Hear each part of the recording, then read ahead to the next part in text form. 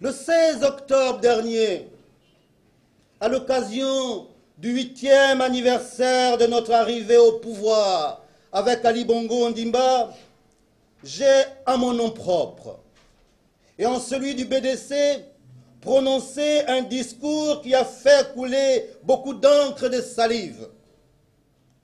Ce discours que j'assume en toute responsabilité et en connaissance de cause. Je l'assume parce que je crois fortement que c'est la voie du salut. Tout au moins, une voie efficace pour réconcilier les Gabonais.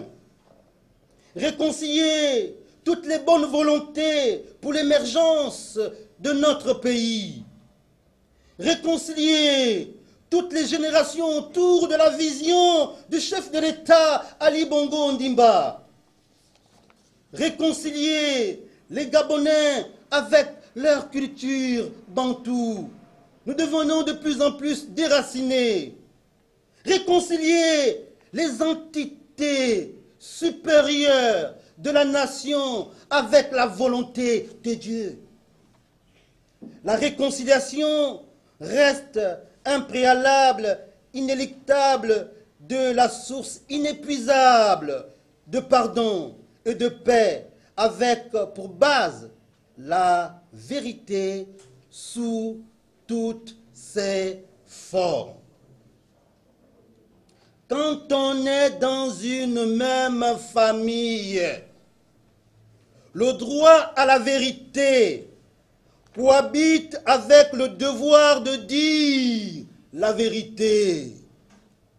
Quand nous sommes dans une même association, le droit à la vérité cohabite avec le devoir de dire la vérité.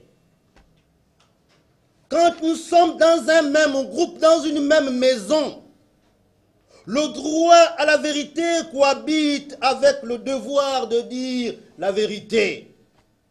Il est bien vrai que toute vérité n'est pas bonne à dire et que parfois le silence est d'or.